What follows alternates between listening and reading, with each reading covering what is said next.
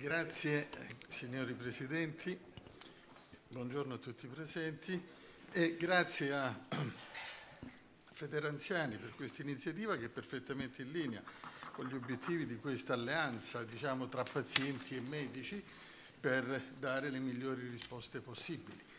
La Società Italiana di Pneumologia, come vedete, è molto giovane, nasce nel 2016, ma nasce dalla fusione di due società eh, consolidate, la Società Italiana di Medicina Respiratoria, SIMER di estrazione universitaria, l'Associazione Interdisciplinare per lo Studio delle Malattie Respiratorie, AIMAR, che era più trasversale e ben rappresentata in ospedale sul territorio.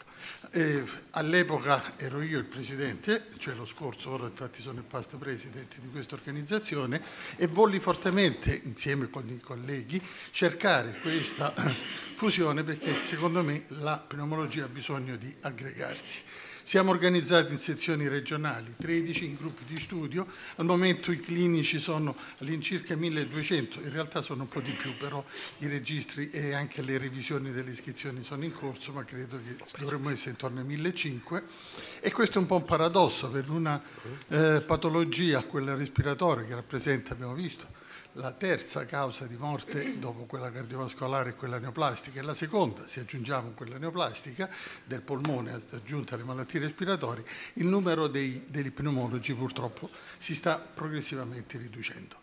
Una caratteristica importante a cui teniamo molto è che accanto alla società di pneumologia c'è il centro studi ente di ricerca riconosciuta con un decreto del Presidente del Consiglio dei Ministri con personalità giuridica che è in fondo l'ex AIMAR che cura i progetti di ricerca. La mission è quella di tutte le società scientifiche, ovviamente dedicata agli obiettivi specifici delle nostre competenze, cioè l'apparato respiratorio e la visione ovviamente è sperare che i nostri pazienti abbiano una prospettiva in termini di prevenzione e di terapia migliore di quella che possiamo eh, al momento assicurare. Ci occupiamo ovviamente, come tutte le società scientifiche, di ricerca clinica, cercando anche di stimolare molto la raccolta di dati sul campo, perché nella nostra area sono dati abbastanza carenti. C'è ovviamente un'intensa attività formativa con un'ottica interdisciplinare perché nulla tra le malattie dell'area internistica è più trasversale, più internistico proprio della pneumologia. L'età media dei nostri pazienti è molto avanzata, il fatto che abbiano una sola malattia è quasi un evento raro, quindi dobbiamo necessariamente confrontarci e collaborare altri colleghi. Il nostro obiettivo è un po' di lavoro, perché poi me ne servirò dopo nelle criticità, sono queste conferenze di consenso che abbiamo periodicamente organizzato, l'ultima l'abbiamo fatta a novembre di quest'anno, che hanno proprio questo scopo di interdisciplinarietà, di trasversalità con le altre componenti scientifiche e con le istituzioni per dare delle risposte. Le patologie che interessano la BPCO ovviamente è quella che soprattutto nell'anziano assume grande importanza. I numeri sono, vedete, estremamente variabili e perché di fatto c'è una grossa sottostima. Comunque si sa che nell'anziano eh, oltre i 65 anni il 10% della popolazione ha questo tipo di patologia e si sa anche che è più frequente e prevalente negli uomini rispetto alle donne. È una delle maggiori cause di mortalità e soprattutto il problema vero di questa patologia è che ha un forte impatto economico sul Servizio Sanitario Nazionale perché questi pazienti vivono molti anni, non è frequente vedere 20, 25 anni, 30 anni con questa patologia, quindi immaginiamo quali sono i costi per, per il sistema che, che, che ne conseguono. Teniamo conto inoltre che il 57% dei ricoveri di pazienti con BPCO avviene in pazienti che hanno insufficienza respiratoria, quindi i problemi della BPCO si, assom si, assom si assommano quelli dell'ossigenoterapia, della ventilazione meccanica, rendendo ancora più complessi e più costosi questi pazienti. Un po' una sorpresa nell'attenzione di tutti quanti è l'OSAS.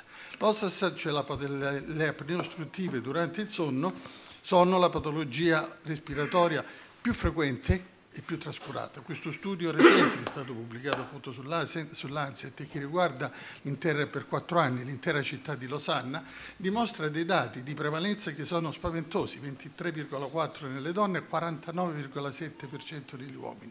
Questo è dovuto anche agli strumenti molto più sensibili di misurazione che questo gruppo di lavoro ha studiato e che ha consentito di far emergere realmente questa patologia.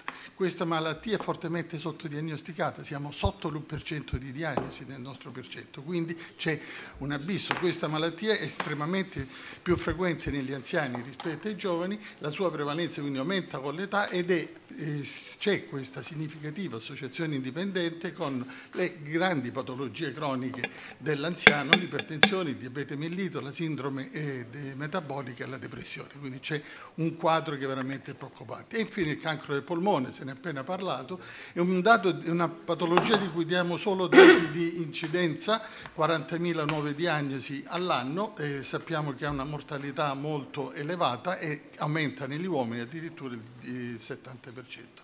Criticità e implicazioni le possiamo ridurre in quattro parole soltanto. Formazione insufficiente da una parte, sia negli studenti, sia negli specializzanti, sia negli operatori sanitari in particolare e quindi le implicazioni che ne conseguono. Organizzazione, purtroppo pochi pneumologi sul territorio, pochissimi, pneumologia riabilitativa di recente introdotta con ILEA pressoché assente in molte parti, responsabilità esempio PDTA, c'è un, una confusione enorme, ogni regione il suo, ogni ALS quasi quasi il suo, in alcune parti non ci sono nemmeno.